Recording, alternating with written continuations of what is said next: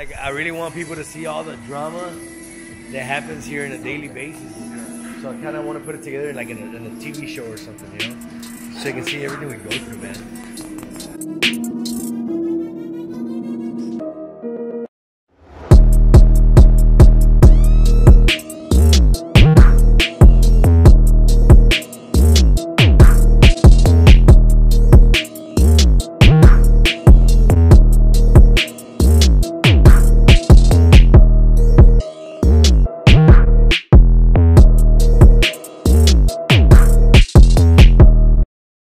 Okay, so people like me, people like Noe, and everyone involved here, we constantly put ourselves under the gun every day because we're always trying to do the right thing, man. We're always trying to help people. Um, so it's difficult. To, a lot of people try to cross the line uh, because you're so nice of a person. They take it for a weakness or they feel like they can walk over you.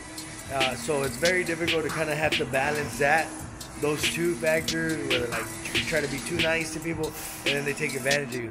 So um, that's kind of a battle that we fight every single day, you know.